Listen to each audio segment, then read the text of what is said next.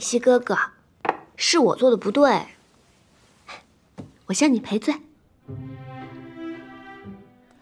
任大人，您的酒席已经备好了。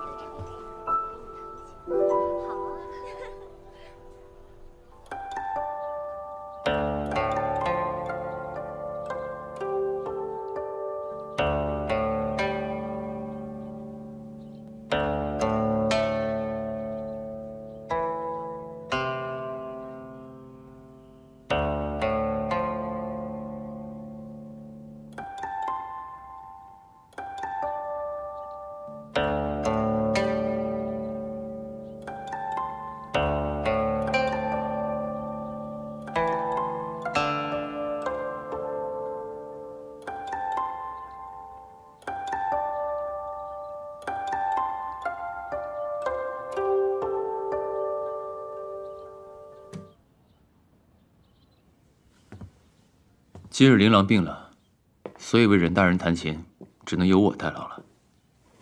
我竟不知你何时还会弹琴啊！听得多了，耳濡目染，自然会些皮毛。确实是懂一些皮毛，甚至可以说是不堪入耳。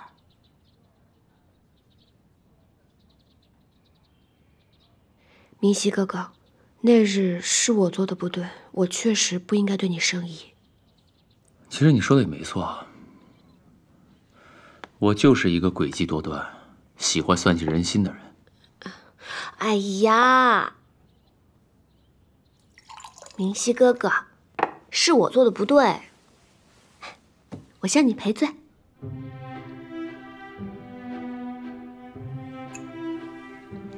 你别用对付韩月那套招数来对付我，我可不是这一套。管用就行了。明熙哥哥，其实我知道。有些事情你说与不说，做与不做，都是为了我好。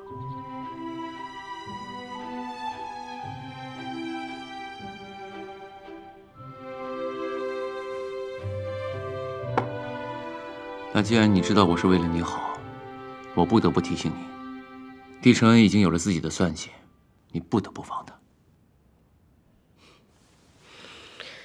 无妨，我们要做的不是废他，而是帮他。保住她这能让我乱中求胜的帝家孤女的身份。好，那这回听你的。他希望帮了他之后，他不要让我失望。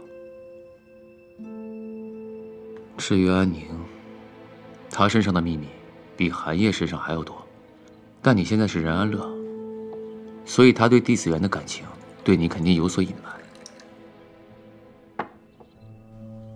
但我要提醒你，他身上有我们想要的谜底，所以切不可陷入姐妹之情。